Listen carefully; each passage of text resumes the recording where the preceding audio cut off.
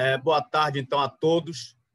Vamos hoje fechar né, é, essas aulas que nós estamos tendo sobre Revolução Francesa. Fechando a Revolução, falando um pouco, um pouco mais aí do, é, sobre Napoleão Bonaparte e sobre o Congresso de Viena, nesse primeiro momento aí da aula de hoje. E no segundo momento já vamos partir para falar sobre Estados Unidos no século XIX. Falamos do iluminismo, da era das revoluções, falamos da, do processo de independência dos Estados Unidos, Revolução Francesa. Agora vamos voltar lá aos Estados Unidos, vendo como foi a consolidação dos Estados Unidos após a independência e dois grandes eventos que vão acontecer com os Estados Unidos após consolidado como Estado-nação, a expansão para o oeste e a guerra de secessão. Certo? Então, esse, essa vai ser a nossa agenda a partir de agora. Eu começo colocando aí a imagem é, de Robespierre né, e de Danton, são os últimos do, do governo da Convenção Nacional que serão é, decapitados, que irão para a guilhotina. Então, na aula passada, falamos desse governo é, da Convenção Nacional, né?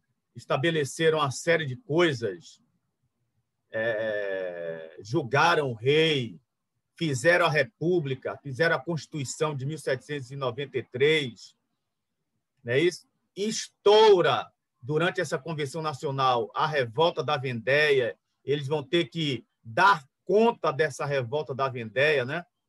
Então, eles vão constituir um comitê de salvação nacional responsável para conter essas revoltas internas, inclusive a Vendéia, e um comitê de salvação pública responsável pela segurança externa, é quem vai coordenar o emprego do exército francês.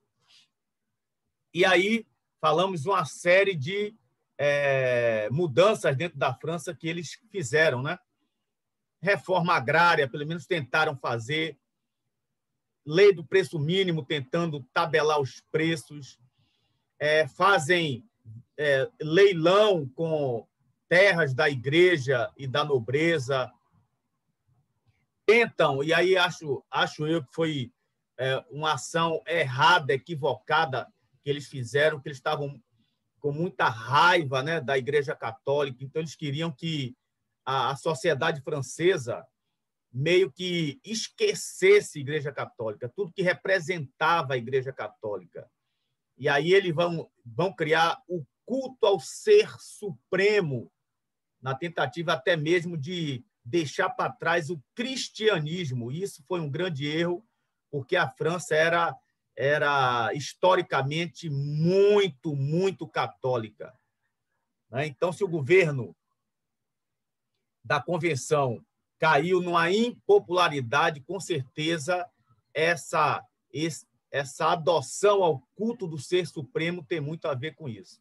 Mexeu principalmente com os camponeses, que eram muito ligados à Igreja Católica. Mas eles fazem também o ensino, criam o ensino público dentro da França, vão acabar com a escravidão nas colônias, principalmente no Haiti, né? E isso vai ser fundamental para depois haver a revolução dentro do Haiti. E o Haiti vai terminar se tornando independente, vamos falar isso depois. E durante esse período do, da convenção, centenas, milhares de pessoas vão bater na guilhotina, né? Porque o governo, por mais que faça, não vai dar ao povo francês aquilo que o povo francês queria, é o motivo da revolução, ter uma vida melhor. Eles não conseguem isso. Então vão caindo numa impopularidade e mesmo depois da morte de Marat, aquele médico por Charlotte Corday, ia haver toda uma uma é, uma uma, é, é, uma, uma espécie de teatro, né? usando a morte de Marra, um apelo popular, essa palavra que eu queria que viesse à cabeça, embora tenha havido todo um apelo popular em torno da morte de Marra, eles só conseguiram ganhar um pouco mais de tempo no poder, mas a impopularidade caía e rápido, né? Então, vai chegar o momento que aquelas lideranças políticas como Robespierre vai chegar à conclusão que para se manter no poder tem que ser através da, do terror, né? E começa então a executar todos aqueles que de alguma forma, direta ou indiretamente, vêm cogitar a revolução. E aí é uma série sem fim de gente sendo guilhotinado, né? até que o próprio povo chega à conclusão que não é isso que queremos, e aí a guilhotina chega a essas lideranças, né? Danton, Robespierre e tudo mais. Cai, então, o governo da convenção, é justamente é, dentro daquele novo calendário que eles tinham mudado, né? francês, baseado nas estações do ano, como o, o verão, o termidor, que vem de termos, calor, a estação do calor, não é isso?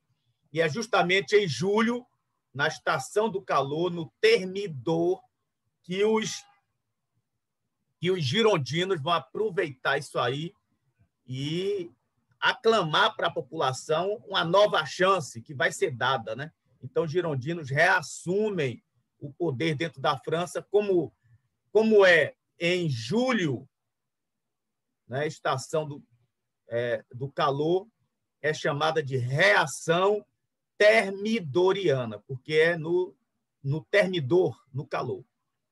Ele estabelece, então, o diretório são, são diretores, todos girondinos, né? um, um parlamento, um pequeno parlamento composto por diretores que é, vão governar a França.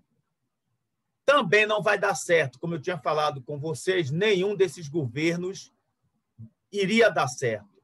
Primeiro, internamente havia uma, ainda né, uma disputa de poder político muito grande, mesmo entre os jacobinos que caíram, as lideranças caíram, mas ainda existia muito, é, muito é, francês, né, com o jacobinismo na cabeça.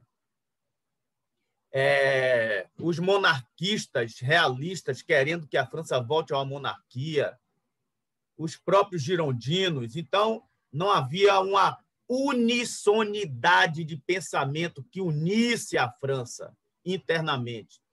E externamente, a pressão dessa, desses países, Inglaterra, Holanda, Espanha, Áustria, Prússia, era cada vez maior.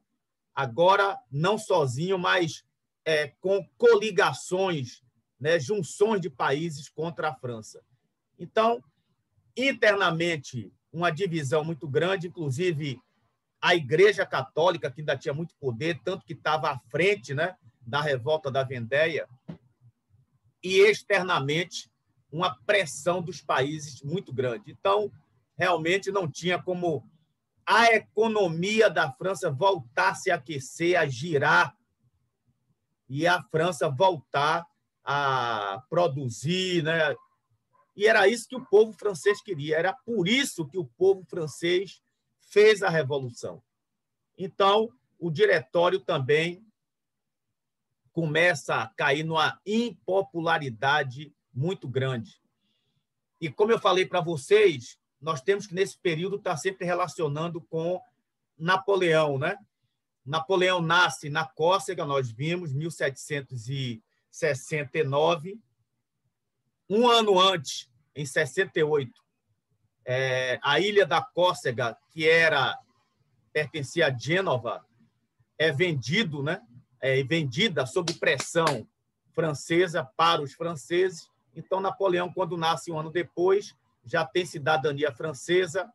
A família de Napoleão, assim como é, outras famílias da pequena nobreza da ilha de Córcega, não aceita isso aí, vai estar sempre num ensaiando um processo revolucionário lá dentro.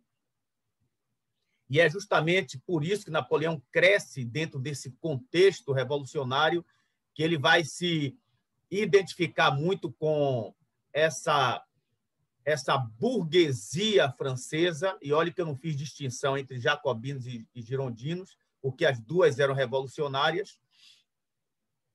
Mas Napoleão vai ser mandado para a França, faz o colégio militar, do colégio militar vai fazer a Academia Real Militar, a, opta pela artilharia, usava muito cálculo, ele gostava de matemática, é, é formado oficial de artilharia, mas Napoleão, como eu disse para vocês na última aula, sorte dele e da França, ele vai estar sempre fora de Paris durante a Revolução Francesa. Então, no início da Revolução, ele sai da academia, vai ser mandado lá para um, um batalhão sem expressão, um grupo de artilharia lá, sem expressão, lá no norte da França.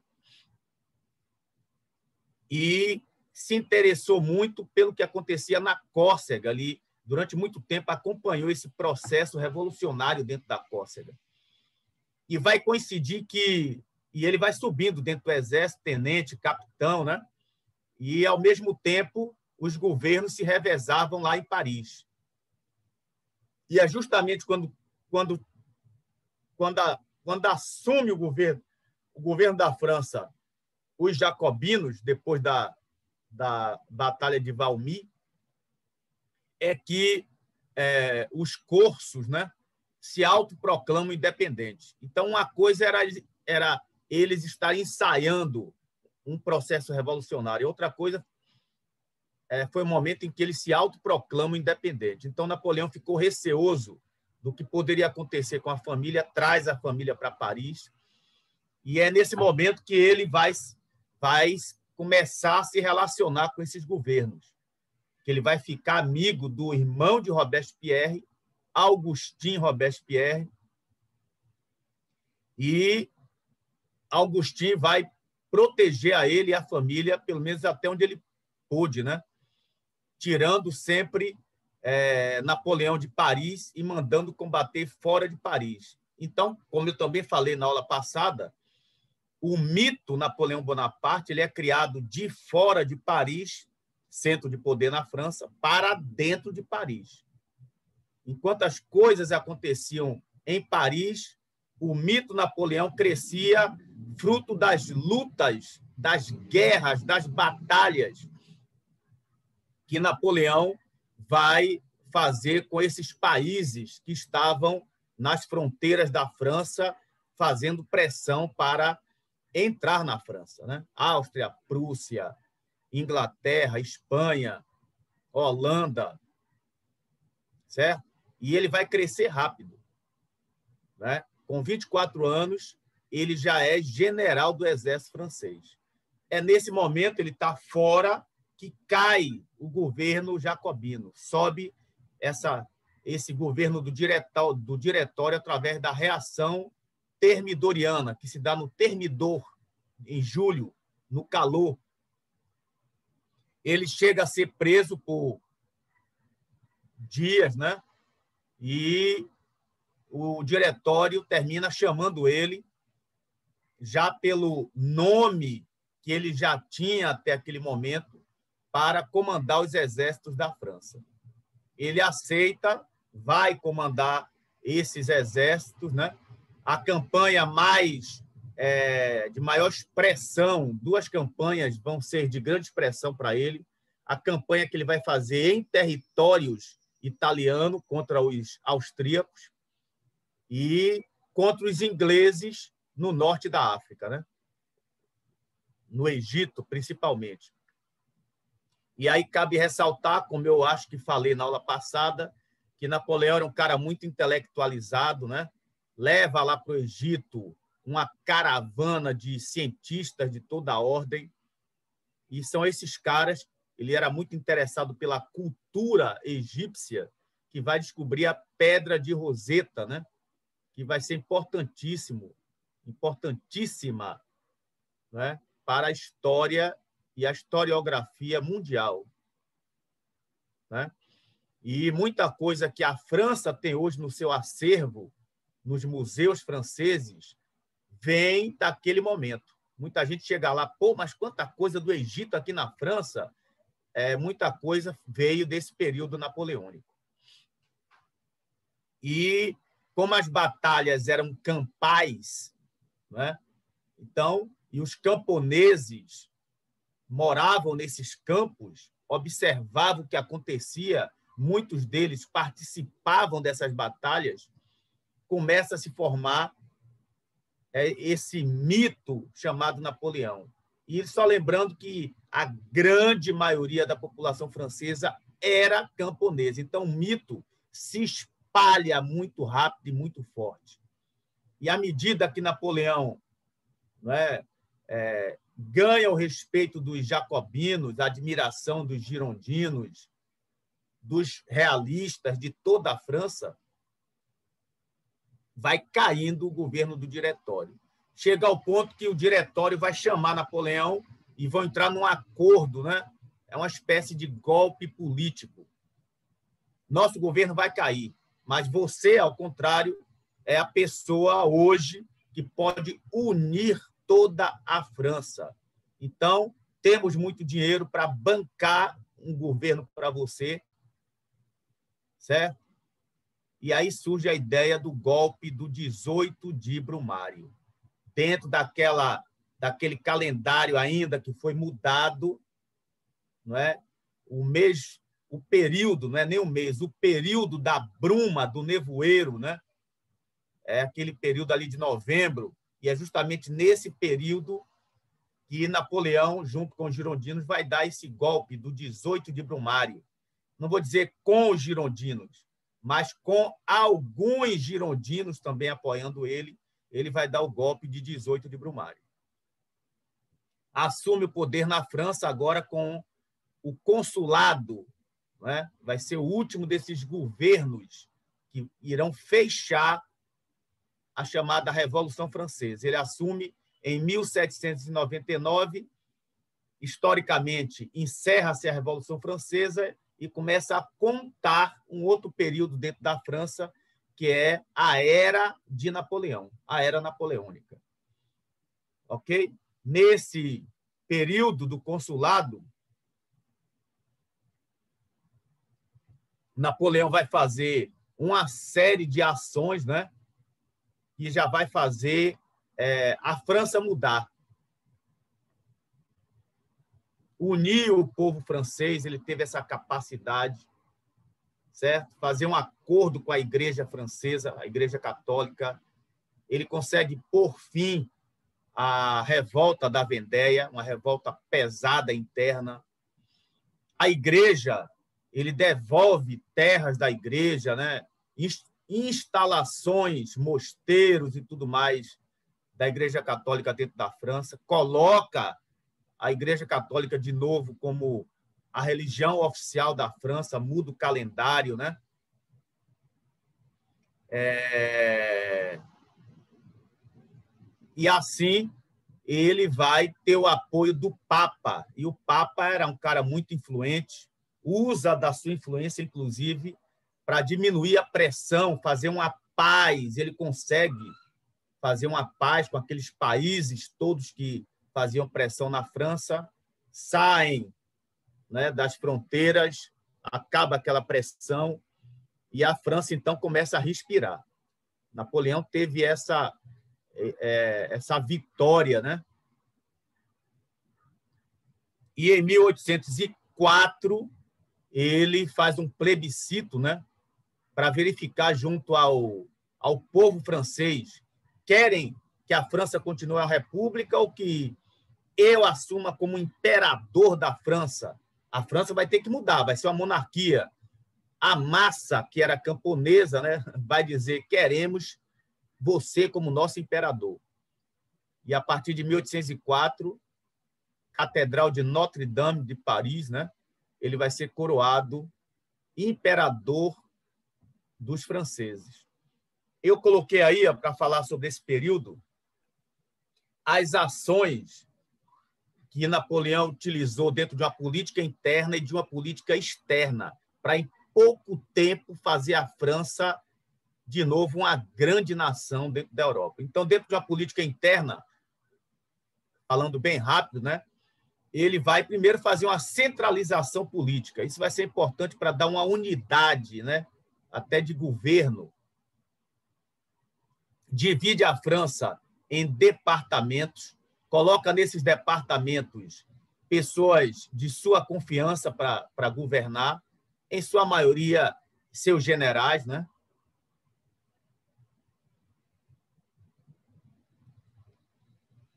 vai fazer uma grande reforma agrária dentro da França, consegue empréstimos externos, cria o Banco da França, né? Com apoio daquela burguesia girondina, né? que vai estar sempre ali apoiando ele. Ele consegue empréstimos externos, financiamentos, cria o Banco da França. Lógico, o Banco da França vai agir muito em proveito dessa burguesia girondina que vai lucrar horrores com isso. Ele sabe disso. Mas também vai ter dinheiro para bancar a reforma agrária para os camponeses, distribuindo pequenos pedaços de terras, né? E além disso, é, financiando instrumentos é, necessários para que o cara consiga é, sementes, insumos e a coisa dá certo certo? Isso na área rural. Nas cidades, ele vai fazer grandes obras, dentro de Paris principalmente, mas estradas ligando outras cidades a Paris, modernizando estrada, criando novas estradas e empregando aqueles sans-culottes, né? E aí, com emprego, era aquilo que o cara queria. Ele queria ter uma vida melhor, queria ter seu emprego, sem ter que pagar parte desse emprego com altos impostos, como acontecia no tempo de Luís XVI. Então, aí sim, o cara vai ser empregado, pago pelo Estado francês. Né? O emprego levava dignidade ao povo francês.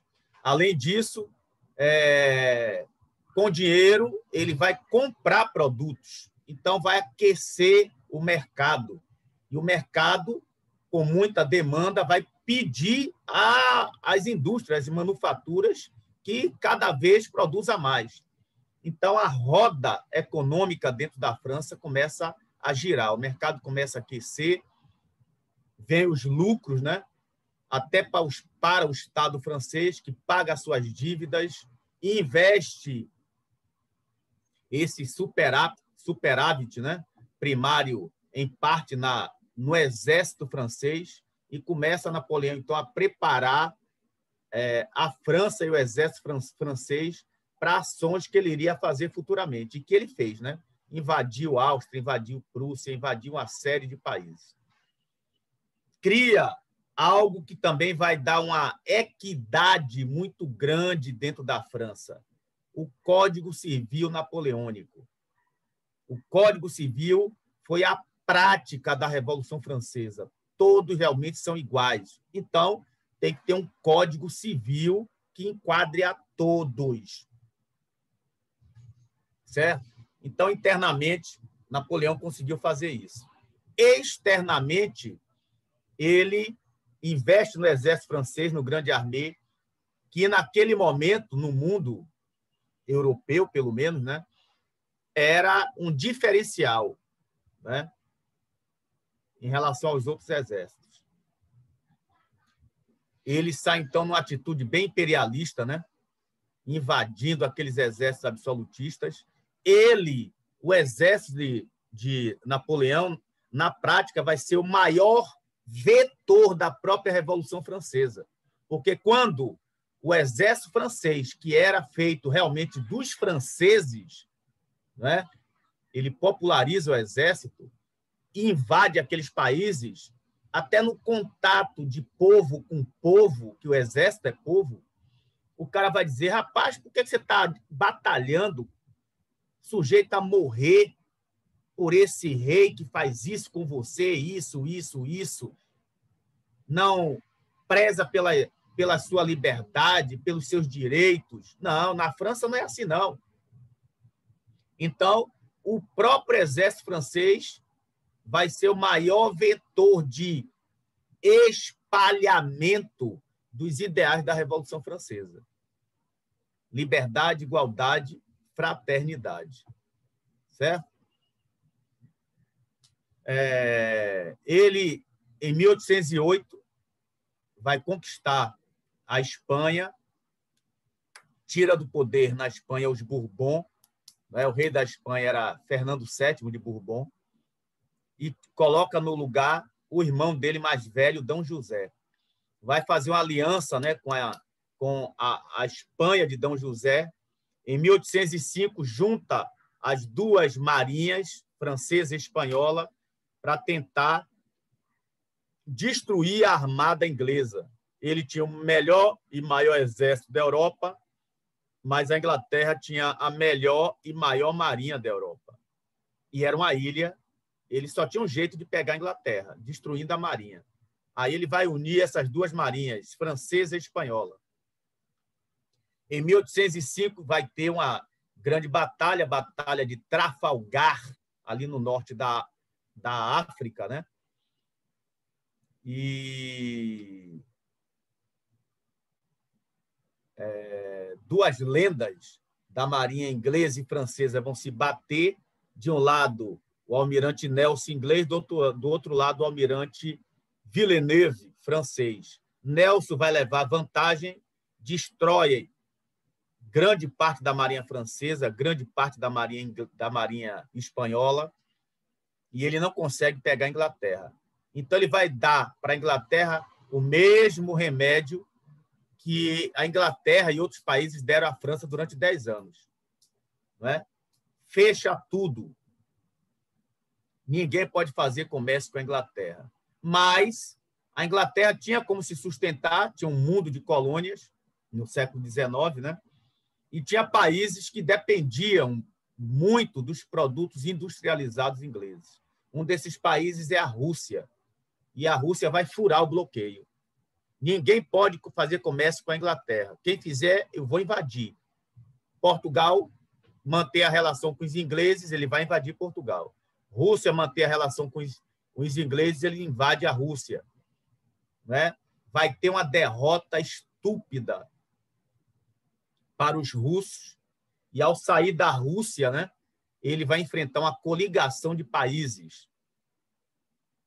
Batalha de Leipzig, 1813, na Alemanha, vai ter uma derrota terrível. Aí os caras vão exigir que Napoleão abdique do poder da França. E vai prender ele na ilha de Elba, é uma ilha ali próximo da Itália. Ele vai ficar preso, mas é, tempos depois, é, aliados de Napoleão dentro da França, né, generais e tudo mais, dão um golpe, entram na ilha, libertam Napoleão e trazem Napoleão para a França.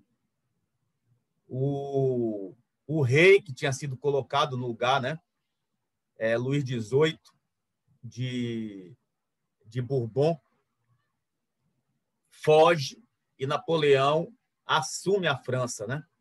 Mas não era mais aquela França, não era mais aquele exército, né? ele ainda tenta, né? Vai ter uma derrota ainda mais fragorosa, né? Em Waterloo, na Bélgica. E aí, dessa vez, o inglês coloca ele lá na ilha de Santa Helena, e totalmente isolada no meio do Atlântico. E por lá Napoleão morre. É o fim do mito Napoleão.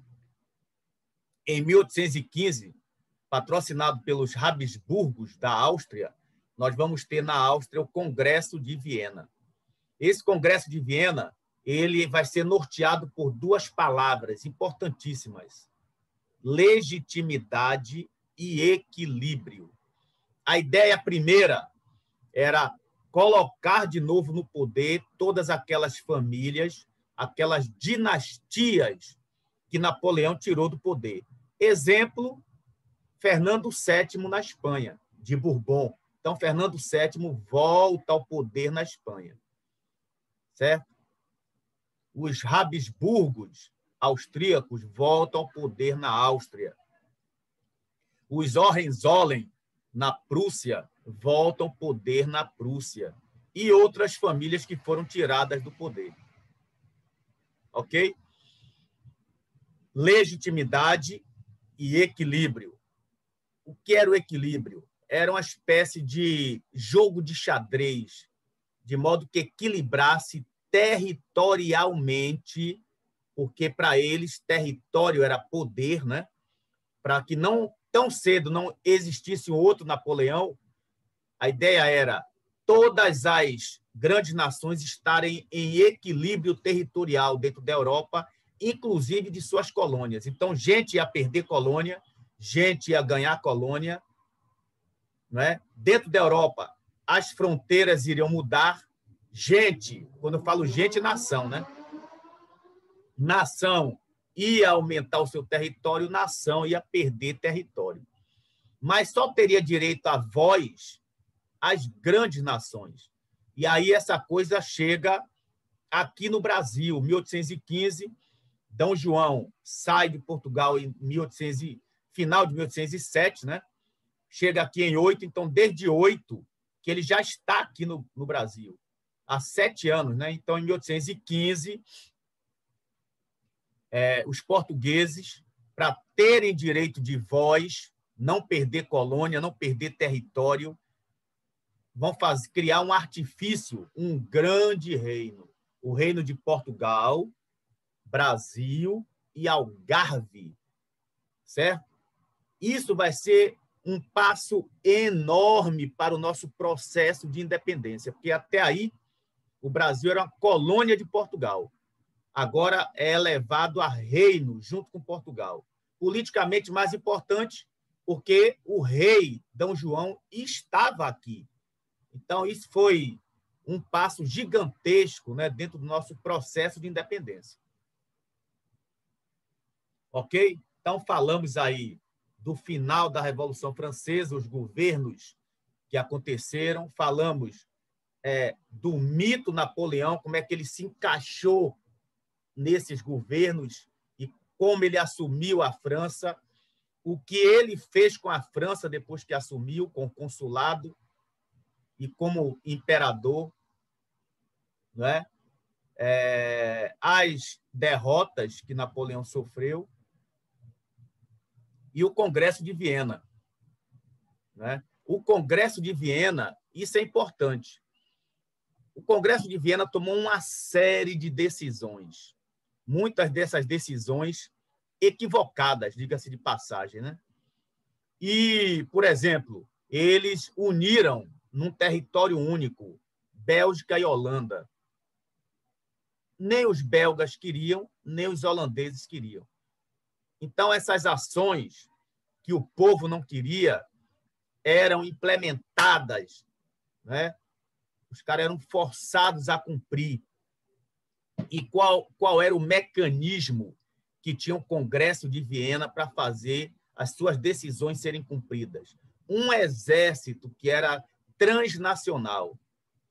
A princípio, começou com tropas da Inglaterra, Rússia Prússia e Holanda, né? Daí ser chamado de o exército da Santa Aliança, porque todos esses países, católicos ou protestantes, eram cristãos. Então, exército da Santa Aliança. Depois, a própria França, né? Mais à frente, até a própria França vai, vai fazer parte desse exército da Santa Aliança. Então, era o instrumento que tinha o Congresso de Viena para fazer suas decisões serem efetivamente colocadas em prática. Então, uma série de decisões. Por exemplo, eles criaram um Estado-nação bem no centro da Europa. Né? Ali existia a Confederação do Reno. Eles criam a Confederação Germânica. E dentro dessa Confederação Germânica tinha era uma uma grande coxa de retalhos. É, Para vocês terem ideia, lá no norte tinham uma série de reinos e principados germânicos, lá no sul tinha, por exemplo, que fazia parte dessa confederação germânica, a Áustria, que não tinha, não, não tem origem germânica, tem origem celta.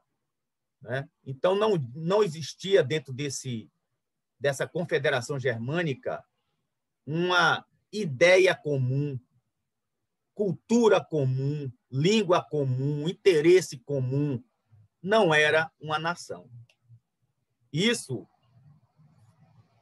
vai, vai trazer conflitos homéricos dentro dessa confederação. E foi colocada a Áustria como presidente da confederação e a Prússia como vice-presidente. Os prussianos não aceitam isso, até mesmo porque eles já estavam com um nível de desenvolvimento né, muito maior, muito acelerado, porque a Revolução, a Revolução Industrial começa na Inglaterra, num primeiro momento, se espalha pela Europa, e o primeiro país que vai absorver essa ideia de revolução industrial vai ser a Prússia. Né? Então, a Prússia já estava num nível de desenvolvimento muito grande, e a Áustria lá embaixo não. Ainda é um país absolutista, quase medieval, né? Aí não aceitava que fosse criada aquela confederação e a presidência tivesse na mão da Áustria. E aí vai, vai, vai acontecer no século XIX uma série de conflitos, inicialmente políticos dentro da confederação, e depois uma guerra, né? porque vai haver uma guerra da Prússia com a Áustria. Né? A Prússia vai fazer uma guerra com a Áustria e depois uma guerra com a França. Como disse o, o, é, um, Bismarck, né, primeiro-ministro prussiano, é, nada melhor do que uma guerra para unir uma nação. E ele vai forjar essas guerras e vai conseguir fazer a unificação de todos esses esses territórios germânicos com a Prússia. É criada, então, a Alemanha, século XIX, a partir de 1870. Fruto de quê? Desse Estado-nação criado pelo Congresso de Viena. Certo? Entre outras coisas. Ok? E, esse, e, a, e essa influência do Congresso de Viena vem bater até aqui no Brasil. Ok? Então, fechamos Revolução Francesa, falamos sobre Napoleão, falamos sobre, pelo menos, as, as coisas mais importantes né, do Congresso de Viena. Pergunto se alguém ficou com alguma dúvida, alguma pergunta. Se ninguém tiver dúvida nem pergunta, eu vou é, tirar aqui o, o arquivo e vamos começar, então, a falar sobre Estados Unidos no século XIX.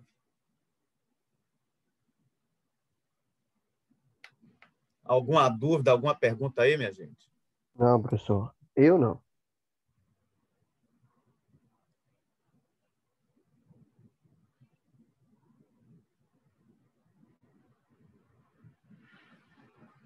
Então, me dê só um tempinho aqui que eu vou colocar o outro arquivo, ok? Beleza. Estados Unidos no século XIX.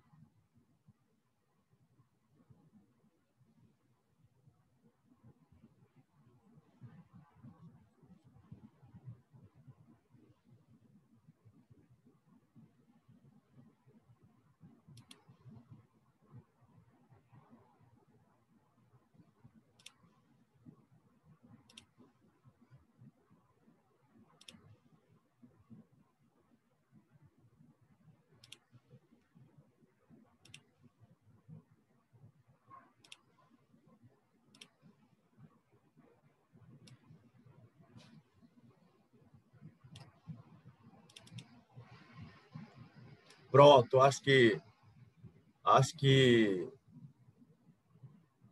todos estão vendo aí, né? Sim.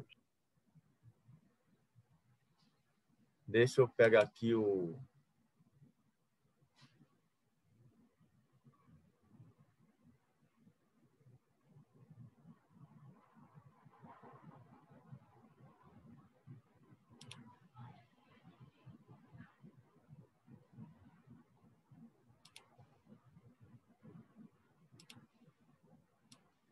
Certo. É, eu fiz questão de colocar essa imagem inicial.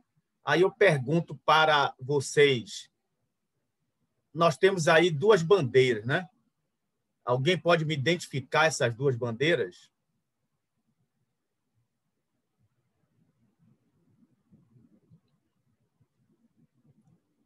Pode dizer qual a diferença das duas? Estados Unidos antes e depois da independência? Não. Ó, é, essa bandeira da direita né, é a atual bandeira dos Estados Unidos. A bandeira da esquerda é a bandeira dos Estados Confederados. Certo? Durante a Guerra de Secessão. Antes que me perguntem, né, porque teve aluno que me perguntou, né? Secessão, ah, como é que se escreve? Que é o português é meio complexo, né? É, com S né, no início, C no meio e dois S no final. Separação, secessão, guerra de secessão. Então, essa bandeira da esquerda foi a última das, das bandeiras, que eles tiveram vários modelos de bandeira.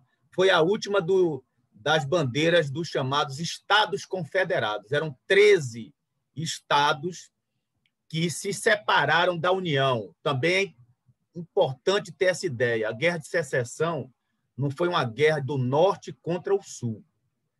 A União, os Estados Unidos, depois de independentes, a União nunca deixou de ser União. Os Estados Unidos nunca deixou de ser Estados Unidos e estava na, na Constituição americana que, é, em, em outras palavras, né, a União não poderia deixar isso acontecer.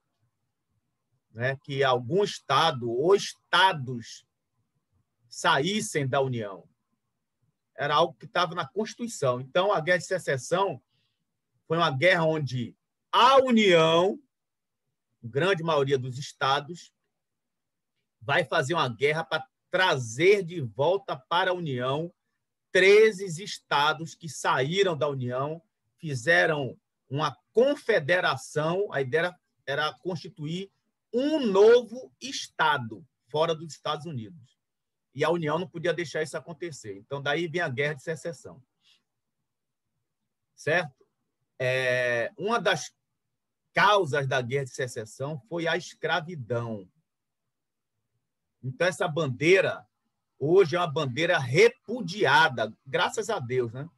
Repudiada pela sociedade norte-americana, porque sempre que ela tremula, ela está trazendo de volta conceitos que a sociedade americana, pelo menos teoricamente, já deixou para trás. Preconceito, escravidão, mas ainda causa perplexidade quando a gente vê fatos como aconteceram há muito pouco tempo atrás, né? É, da morte daquele norte-americano, né? Floyd, né? E que incendiou principalmente o sul dos Estados Unidos. E a gente via é, grupos de supremacia racial ostentando essa bandeira pelas ruas e tudo mais. Então a gente fica pensando: será que essa escravidão e tudo que ela representou dentro dos Estados Unidos realmente ficou para trás? A sociedade norte-americana é, ultrapassou tudo isso? Não sei, não posso dizer, mas a história está aí para que a gente analise o que aconteceu, o que está acontecendo agora e ver se realmente ficou para trás, se ainda tem gente olhando para trás, como esses grupos de supremacia racial. Por isso que eu fiz questão de começar a falar de Estados Unidos, século XIX, colocando essa bandeira. Nós vamos ter, no século XIX, nos Estados Unidos, dois eventos que são foram fundamentais para os Estados Unidos. a expansão para o oeste, né? Eles vão sair da costa leste e vão alcançar a costa oeste, expropriando terras, comprando terras, ter, territórios, ganhando territórios, mas vão chegar. E outro fato importantíssimo vai ser a guerra de secessão, porque teoricamente é uma guerra que foi feita para resolver pendências né, dentro dos Estados Unidos que vinha de muito tempo, da própria origem das 13 colônias. Ok? Então, vamos falar sobre Estados Unidos, século XIX. Como eu falei com vocês desde a primeira aula de história, não tem como, pelo menos não se deve, né, estudar história, um fato histórico qualquer, sem você ter a plena noção da geografia do que envolve o fato histórico que eu chamo de a geografia da coisa, certo? Para você analisar a coisa perfeitamente, ter uma perfeita noção do fato histórico, é lógico que você tem que ter uma noção da geografia que envolve o contexto daquele fato histórico. Então, eu trouxe para a gente ver né, é, a geografia dos Estados Unidos, inclusive a parte é, do subsolo dos Estados Unidos. Porque o americano tem mania de dizer, né? É, é, temos um território abençoado por Deus. Faz parte de uma doutrina, é, de um dos conceitos de uma doutrina que foi muito é, é, intensa permeou a cabeça do povo americano, até impulsionou o povo norte-americano para chegar na costa oeste. A doutrina do destino manifesto.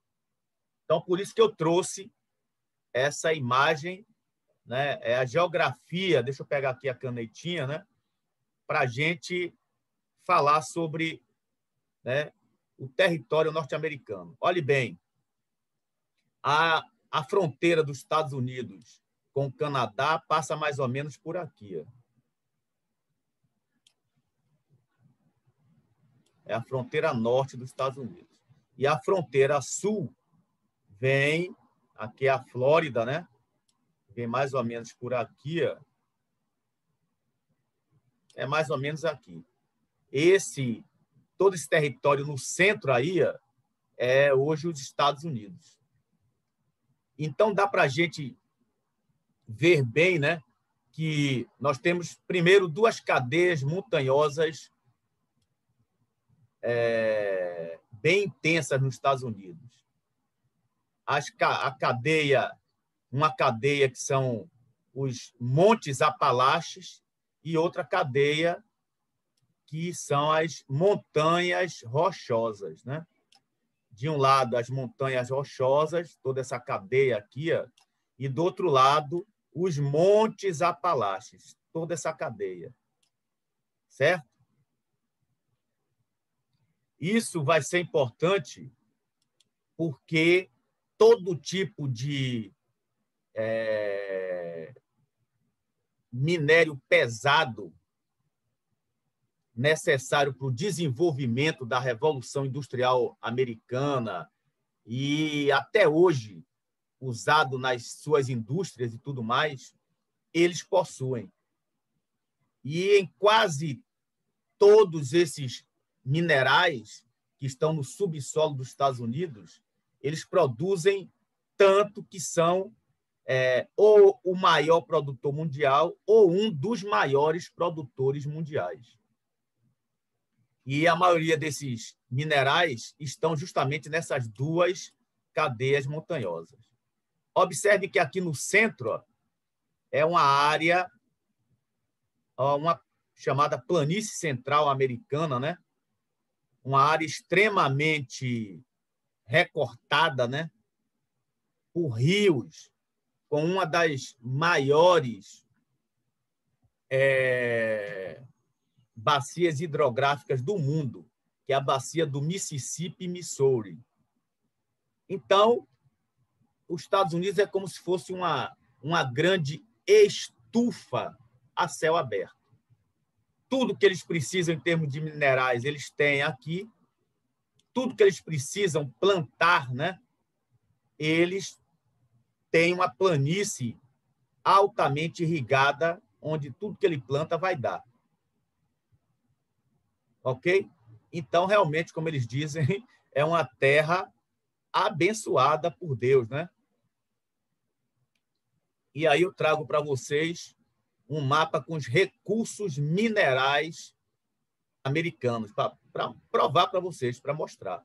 Olha só, eles têm petróleo e gás, carvão mineral, ferro, cobre, bauxita, chumbo e zinco, urânio, ouro, prata, certo?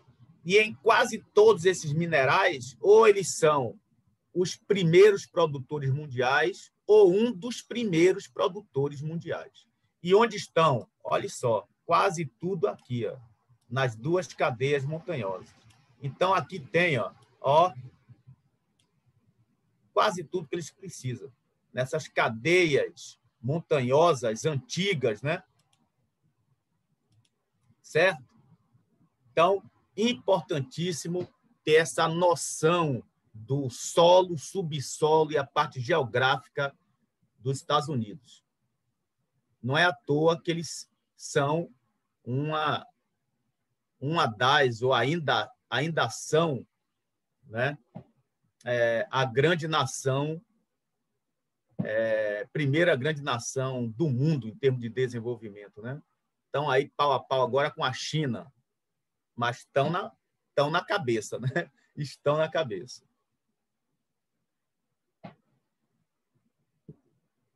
Importante também nós relembrarmos, porque eu vi isso com vocês, quando falamos do processo de independência das 13 colônias. Então, eram 13 colônias. O primeiro núcleo vai nascer lá na Virgínia, né? lá no sul, um núcleo de exploração. Depois, em outra em outro período ali de Carlos II, né? daquelas perseguições religiosas e tudo mais, venham outros núcleos, né?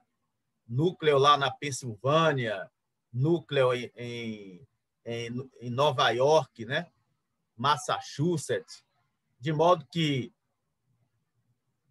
foram montadas quatro colônias né?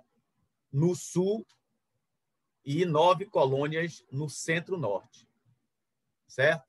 as quatro do Sul, Virgínia, Carolina do Norte, Carolina do Sul, Geórgia, né, ao longo do tempo, vai se formar um tipo de homem lá no Sul.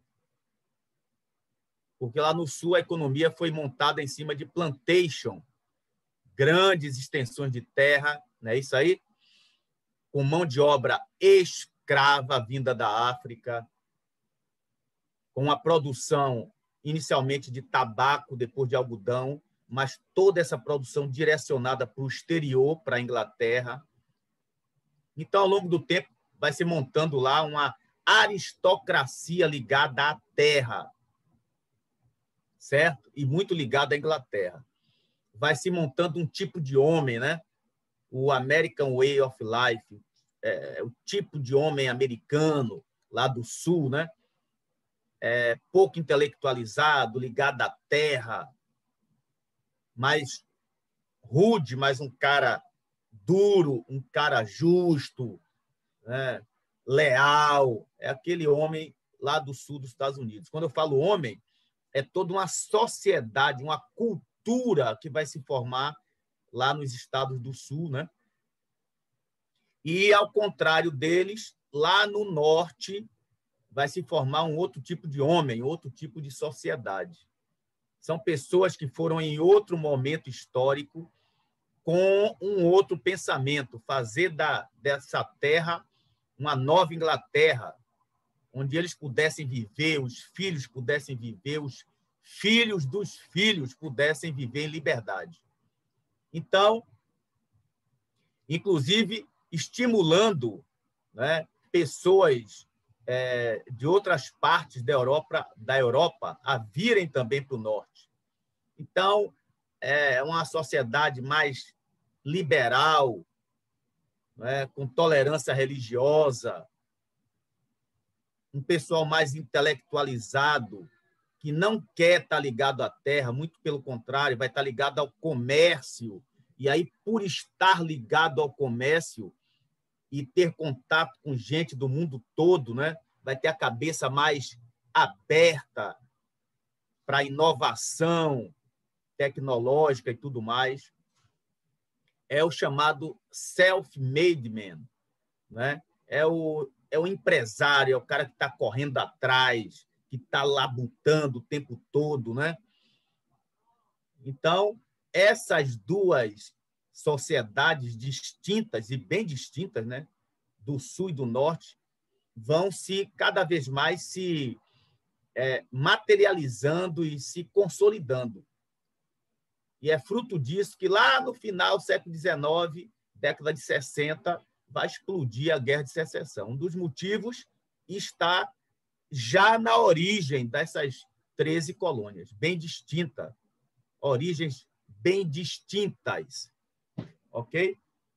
Então é importante lembrar a origem das 13 colônias, porque ele, tudo bem, eles entram no processo de independência contra a Inglaterra, criam os Estados Unidos, mas estão unidos por interesses comuns e tudo mais, mas tem essas coisas, esses detalhes que eles teriam que ultrapassar para realmente ser uma grande nação. E a Guerra de Secessão foi fundamental para isso. Muito bem. É...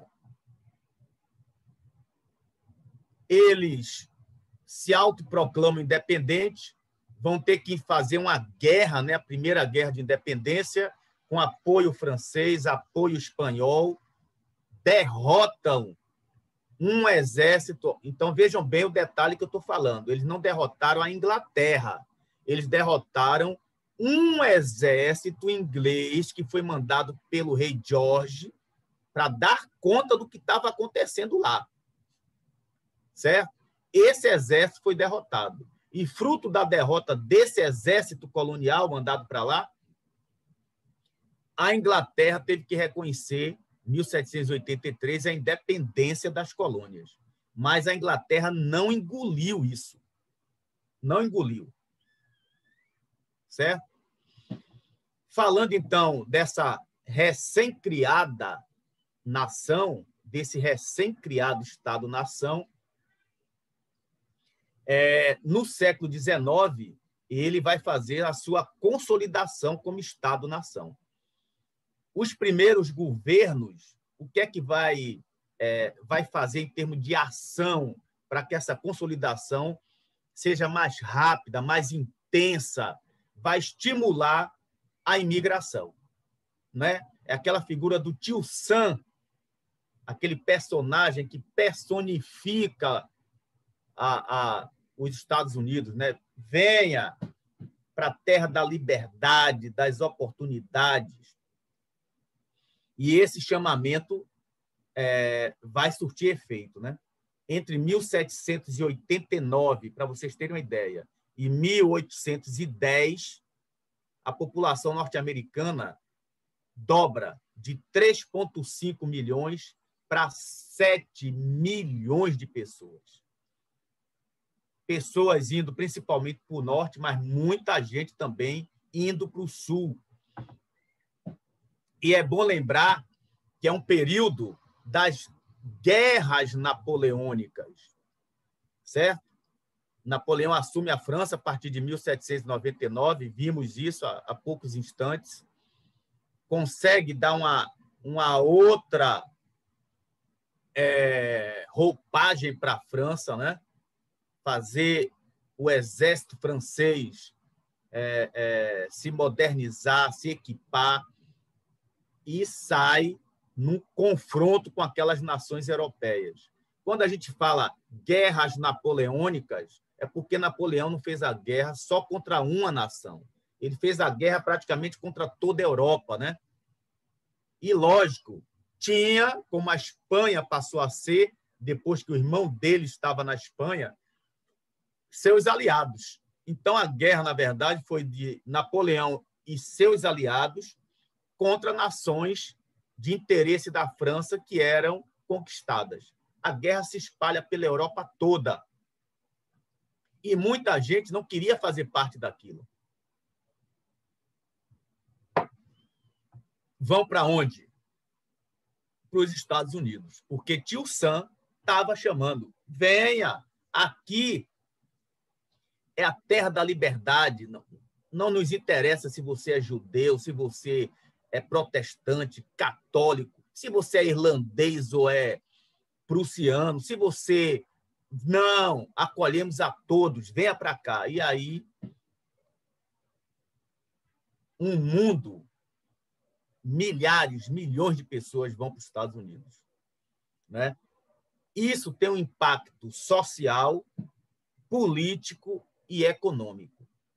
Né? E é fruto desse impacto que, imagine, é, uma cidade pequena que vai receber, ou mesmo uma cidade maior, como era Nova York, de uma hora para outra, vai dobrar, triplicar sua população. Problemas de toda ordem vão acontecer, problemas sociais. E aí o governo vai ter que dar conta dessas demandas sociais. Para dar conta dessas demandas sociais, certamente foram criadas instituições governamentais para dar conta dessas demandas. É assim que o Estado-nação norte-americano vai se consolidando como Estado. Instituições estatais vão sendo criadas, demandas vão sendo é, a maneira, ao modo que aconteciam, né, iam sendo é, providenciadas e o Estado ia se consolidando rápido e intensamente. A mesma coisa em termos econômicos. Que veja bem, quando uma população duplica, é mais pessoas né, que vão trabalhar, mais pessoas que vão consumir. Não é isso aí? Essas demandas vão para o comércio, essas demandas vão para a indústria e vai ter que haver uma reação do comércio e da indústria em função dessas demandas. E, lógico, vai haver um desenvolvimento do parque industrial, do comércio, muito rápido e muito intenso, consolidando a economia, o parque industrial e tudo mais dos Estados Unidos. E lembrando também que, enquanto a Europa passava pelas guerras napoleônicas, os Estados Unidos mantinham uma atitude de isolamento em relação a tudo isso, o que é uma contradição. Olhe bem, ao mesmo tempo que ele chamava o imigrante individualmente para ir para os Estados Unidos, em termos de nação, ele se isolava da Europa. Né? E esse isolamento vai ser importantíssimo para essa consolidação interna dos Estados Unidos como uma grande nação na América. Certo? Alguém não entendeu, então, essa consolidação do Estado norte-americano? Por que, que se deu tão rápido, tão intenso fruto principalmente dessa grande imigração que houve para os Estados Unidos. Essa imagem aí, né, cenas de Nova York, século XIX, mostra bem. Imagine Nova York, né? um mundo de gente que chega para Nova York, muita gente dali vai para o sul ou permanece ali mesmo. Imagine as demandas sociais instituições, instituições sociais que são montadas rápido para poder dar conta dessa demanda. É a consolidação do Estado. Observe também, ó, lá ao fundo, ó, as chaminés das indústrias. É a revolução industrial. acontecendo num paralelo a isso tudo. Certo? Muita gente, milhões de pessoas consumindo, né? aquece a indústria que cada vez mais oferece mais postos de trabalho. Então, é um, é um ciclo vicioso né? E virtuoso que faz com que a economia se consolide e muito rápido. Ok? Mas isso também vai ter um preço para os Estados Unidos. Que, ao mesmo tempo, tem um lado bom e tem um lado ruim. O lado ruim está na própria postura de isolamento do Estado americano em relação à Europa, principalmente nessa guerra quase que pessoal de Napoleão com os ingleses. Né? O inglês, que já estava por aqui com as 13 colônias, né? teve que reconhecer a independência, perdeu seu, a sua galinha dos ovos de ouro né? que ele poderia ter. Ele vê que os Estados Unidos, como ex-colonos, numa guerra que eles estavam passando contra a França, não se alinham a ele. Vai ter uma postura de neutralidade. E essa postura de neutralidade para o inglês é, dá a transparecer um alinhamento, inclusive, com a França de Napoleão. Certo? Então, isso deixa o inglês revoltado. Eles ficam tão revoltados que eles começam a, a bombardear, né, levam a pique vários navios norte-americanos que estavam fazendo comércio dentro da Europa. É isso que vai fazer com que o governo norte-americano declare guerra para a Inglaterra. Mas, no fundo, o interesse norte-americano não, é, não estava nisso aí. Certo? E aí eu vou ter que adiantar um pouco, depois eu volto e vou vir para essa para essa imagem aí, para poder explicar o interesse dos Estados Unidos. Olhe bem, então deixa eu vou botar a canetinha agora vermelha, que é para vocês entenderem bem. É, e aí vou ter que falar bem rapidinho um pouco da história do Canadá, certo? é, os primeiros, quem morava em toda essa região, ó, toda essa região hoje é o Canadá, né? Ó, daqui para cima é a fronteira Estados Unidos-Canadá, certo? É, quem habitava nessa região eram povos autóctones, né? Daquela região mesmo ali os primeiros estrangeiros a baterem no Canadá são os vikings, certo? Mas o primeiro europeu que vai bater no Canadá é um italiano, Giovanni Caboto. É uma grande expedição de Giovanni Caboto que vai bater nesse lado. Eu vou dividir aqui no meio, ó. Ele vai bater nesse lado do Canadá. Certo? Vai montar aqui, ó, perto de Ontário, uma cidade que tem nesse lado ocidental do Canadá. Ontário, certo? Um núcleo colonial aí. E começa a fazer comércio. É um italiano a serviço, isso é um detalhe importante. Giovanni Caboto faz uma, uma expedição, é um italiano, em 1497, a serviço de Henrique VII. Nós estudamos Henrique, a vida de Henrique VIII, né? Tudor, o pai de Elizabeth. Esse cara, Henrique VIII, é filho de Henrique VII. Foi o primeiro Tudor a assumir a Inglaterra depois da Guerra das Duas Rosas. Então, a serviço de Henrique VII, esse italiano vai bater nesse lado onde hoje é o Canadá. Vai fazer um núcleo colonial aí, explorar peles com os índios, peixe, salgado, né? Isso, final do século XV, 1497. No século XVI, quem vai chegar do outro lado, né, nessa região daqui, ó, são os franceses. Vão fazer um núcleo aqui numa cidade que tem aqui grande chamada Quebec. Então, de um lado, Ontário, lado inglês, e do outro lado, Quebec, lado francês. Quem vai chegar aí com a grande expedição é um francês chamado Jacques Cartier, em 1554. Então, observem bem, a serviço de um rei francês, é, Francisco II de Valois. Francisco é que tem aquela tese do Utiposidetes. A terra não é de quem descobre, é de quem efetivamente ocupa.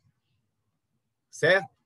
E como aqui no Brasil, 1555, Portugal não estava efetivamente ocupando né, a terra Brasilis, huguenotes franceses, orientados por Francisco II, né, de Valois, vêm bater aqui no Rio de Janeiro. Então, em 54, eles estão batendo lá, Jacques Cartier, lá onde hoje é o Canadá, o lado francês do Canadá.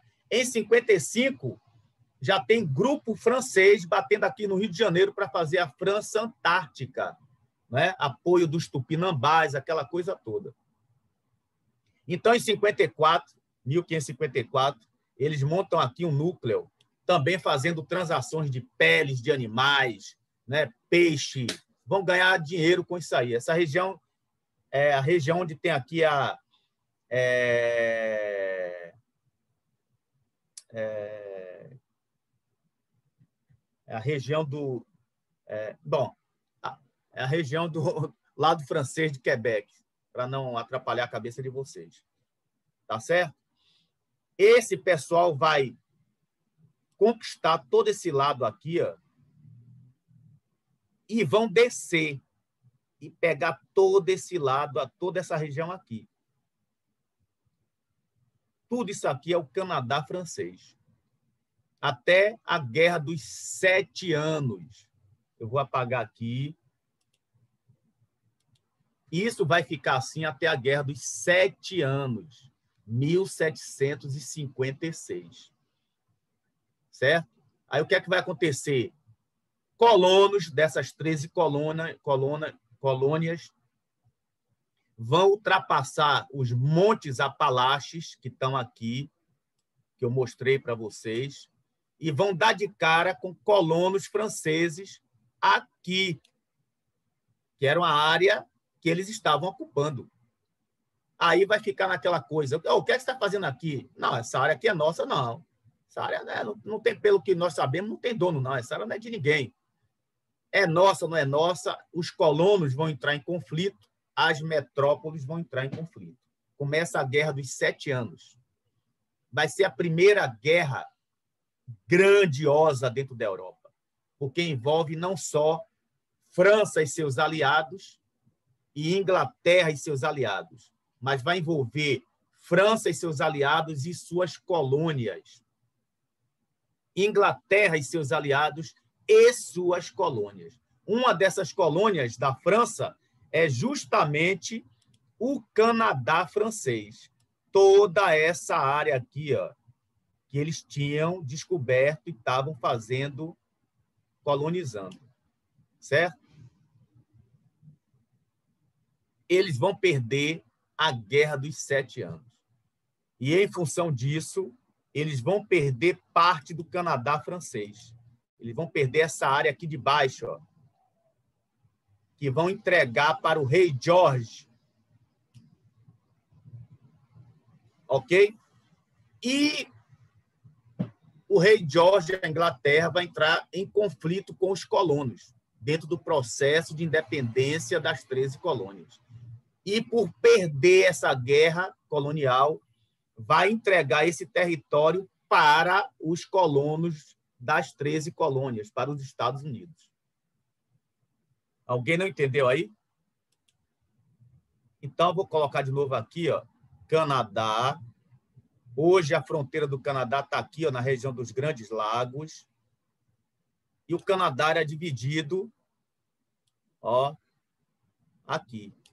Parte ocidental inglesa, o inglês vai perder essa parte de baixo, certo?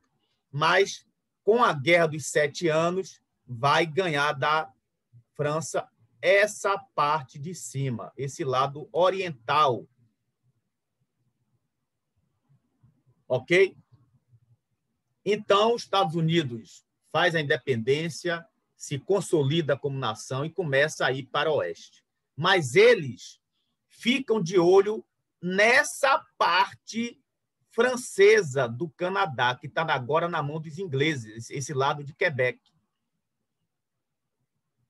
E vão aproveitar com as guerras napoleônicas início do século XIX, enquanto a Inglaterra estava fazendo uma guerra com Napoleão, a ideia, o interesse norte-americano era conquistar essa, esse lado, mas os ingleses que estavam revoltados, chateados com eles, vão dizer: não, não vamos entregar para vocês. Então, o que é que eles vão fazer? Mesmo estando em guerra com a França, vão destacar, como fizeram lá no período colonial, uma força para o Canadá francês, que vai se juntar, essa força vai, vai se juntar com os colonos que já estavam lá e com indígenas daquela região. Certo? E vão fazer, então, um exército para lutar contra o exército norte-americano. O que é que vai. Deixa eu voltar, então, aqui, lá para frente, né? Aí. O que é que vai acontecer, então, entre 1812 e 1815? Vai estourar, então, essa guerra dos Estados Unidos contra os ingleses e seus aliados, os índios e os colonos franceses que estavam lá né, no Canadá. É a chamada Segunda Guerra de Independência, entre 1812 e 1815. A força inglesa que estava lá só vai ter força suficiente para não deixar o norte-americano tomar o território. E o exército norte-americano, que era um exército recém-criado, ainda sem uma doutrina própria, muito incipiente, é muito fraco para derrotar essa força inglesa. Então, vai haver um equilíbrio, e fruto desse equilíbrio, eles terminam entrando numa paz, né? assinando um acordo de paz, certo? E as fronteiras entre o Canadá e os Estados Unidos vai continuar naquela região dos Grandes Lagos, a fronteira norte. Certo? Essa paz vai ser chamada de paz eterna de Gan ou eterna paz de Gan. Aí vocês vão perguntar: e quem era Gan? Não é quem era.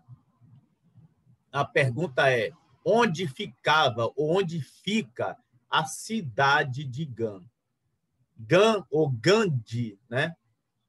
é uma cidade é, nos Países Baixos, é uma cidade medieval muito antiga, que até hoje existe lá nos Países Baixos, e esse tratado foi assinado nessa cidade, daí o nome de Eterna Paz de Gan. Ok? Qual a importância é, dessa eterna paz de Gan dentro da consolidação dos Estados Unidos é essa paz, essa guerra, melhor dizendo, que vai construir uma unidade nacional dentro dos Estados Unidos. Porque o que é que eu falei para vocês? É, houve um grande chamamento à imigração, né? Então, irlandeses, franceses, ingleses, holandeses, prussianos, gente de todo lugar, de todo tipo, vai lá para fazer esse novo Estado chamado Estados Unidos. Essa guerra foi importante porque deu a todos uma unidade. A partir de agora, eu faço parte. O cara tem, começou a ter essa consciência. A partir de agora, eu faço parte de uma grande nação chamada Estados Unidos da América. Ok? Foi a, a, a, o que precisava para, de vez, consolidar o Estado-nação Estados Unidos da América, a Segunda Guerra de Independência. Alguma dúvida aí até aqui, minha gente?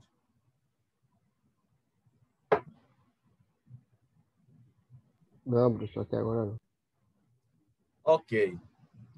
Eu coloquei aqui ó, é, uma cena de uma, uma batalha épica dessa Segunda Guerra de Independência, a Batalha da Fazenda Chrysler, que se deu em 1813. Então, vamos analisar pela, pelo olhar militar da coisa, né? Olhe bem. Se vocês observarem, as batalhas naquela época eram campais. Então, a artilharia se posicionava em determinado local, atirava contra o inimigo, né? Matava o máximo de gente que podia matar, mas não saía do lugar, era ali. Certo? Tinha um alcance certo que ela batia e tudo mais. A partir daí, uma linha era assim, era, era bem burocrática a coisa, né? A infantaria ia para o corpo a corpo, né? E aí nós tínhamos os combates é, corpo a corpo. Então, observem, é, para vocês verem é, o que é que fez essa guerra ser tão igual? Vamos analisar primeiro, dentro dessa batalha, o exército inglês. Né? Olhe que eles, ele, o exército inglês está posicionado do lado de cá. Olha a linha que eles estão formando. Tá vendo? Aqui é a bandeira inglesa, tá vendo aí? Aqui também a bandeira inglesa. Então dá ideia aí de que nós temos pelo menos dois batalhões um batalhão normalmente é, conduz uma bandeira, a bandeira do batalhão, a bandeira da Inglaterra, né? Mas observe essa linha. Dá para ver que o soldado ele é bem treinado, bem preparado para esse tipo de combate. A linha é como se fosse um, um, um muro único, não tem, não tem brecha, é justamente isso que faz, né, como se fosse um tijolo único que está seguindo em relação ao inimigo. Né? Então, no corpo a corpo, é como se fosse um tijolo que está passando, levando tudo pela frente. Certo? Olha a artilharia inglesa, ó, atirando. Duas peças de artilharia, bem montada, dá para ver, bem centralizada no dispositivo, já está atirando, já atirou. A gente vê pela fumacinha do canhão, não é? Agora, em compensação, vamos olhar o outro lado, o exército norte-americano. Olha a fileira do exército norte-americano. Então dá para ver que é um exército a fileira com brechas, o soldado muitos correndo para trás com medo. É um exército que ainda não, ainda não tem uma preparação adequada não é? Ainda não tem uma doutrina solidificada. Olha a artilharia, enquanto a artilharia inglesa já está toda posicionada, já atirou e tudo mais. E não, é, e não é para dizer, ah, mas o inglês chegou primeiro no local, quando os americanos chegaram já estava tudo pronto, porque as batalhas não aconteciam assim. As batalhas aconteciam dentro de uma burocracia os dois exércitos se posicionavam, não é? é? aí a guerra começava, era assim. Então, olha a artilharia, olha onde está a artilharia dos norte-americanos. Nem posicionada estava, né? Olhe o que acontece dentro do dispositivo inglês. Você não vê, é, você vê disciplina, não vê gente correndo para tudo quanto é lado. Não, Agora, olhe dentro do dispositivo norte-americano. soldado correndo para tudo quanto é lado, sem saber o que fazer. Isso mostra descontrole, falta de disciplina. É uma tropa que não está treinada. Mas dá para ver também que o exército inglês é pequeno e o exército norte-americano era muito maior. Foi isso que fez a diferença, né? Fez com que a guerra ficasse igual e terminasse na eterna paz de Gama. Dá para ver apenas na retratação de um quadro da batalha. Já dá para ver bem isso. Porque quem retratou fez questão de mostrar isso aí. Certo? O aspecto da doutrina militar dentro é, do tema. Muito bem. É... Olha, são, são seis e meia. É... Nem vale a pena eu, eu, eu continuar para ter que interromper depois, né? Vamos ficar então por aqui. Vimos essa primeira parte, né? A consolidação dos Estados Unidos como nação, certo? Então, a partir da aula que vem, vamos continuar a analisar os Estados Unidos, depois de consolidado como Estado-nação, a expansão propriamente dita para oeste, certo? E a guerra de secessão como uma consequência até mesmo dessa expansão que vai acontecer. Então, pergunto, é, da Revolução Francesa, de, né, dessas pontas que ainda tinham, que nós fechamos e desse essa introdução, vou falar assim, sobre o tema, né, Estados Unidos no século XIX. Alguma dúvida, alguma pergunta, algum questionamento? Professor, aquela reação termidoriana e diretório, é, a reação termidoriana foi tipo um início. É, não entendi. Você falou em a, relação ao diretório, não é isso? A, é, a Revolução Francesa. A reação, a reação termidoriana, ela foi um, um, um, início, porque já, o senhor falou reação termidoriana e diretório. Foi um início... Não, a reação ah. termidoriana foi o início do governo do diretório. Ah, Com a reação que se deu no verão, no termidor, em julho, cai o governo jacobino assume o governo girondino do diretório. Ah, sim. E esse governo vai até 1799, quando eles sentem que vão cair, que vão perder o controle, para não entregar de novo a França para os jacobinos ou para os realistas monarquistas, eles, ou pelo menos parte dos girondinos, vão fazer um acordo com Napoleão e dão esse golpe, né? o golpe do 18 de Brumário. Pronto, pronto. Valeu, professor. Certo? Respondi aí? Respondeu, respondeu. Beleza. Se respondi, ótimo. Alguma Valeu. outra pergunta, minha gente? Então, até sexta-feira. Sexta-feira é, vamos fazer uma aula só sobre Estados Unidos, século XIX. Ver se a gente fecha todo esse tema.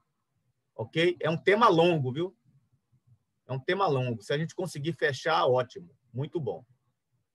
Então, minha gente, muito obrigado aí por, pela paciência, estar tá me ouvindo e tudo mais. Até sexta-feira, né? Se Deus quiser. E terça com o Brasil, né, professor? é, para muitos que me acompanham aí, até terça, né, com, com, com o Brasil, né? É isso. E sexta, história geral. Então, tchau, bom final de semana aí para todos. Valeu, professor. Continuem. Valeu, professor. Tchau, tchau. Valeu, professor. Continuem estudando. tchau.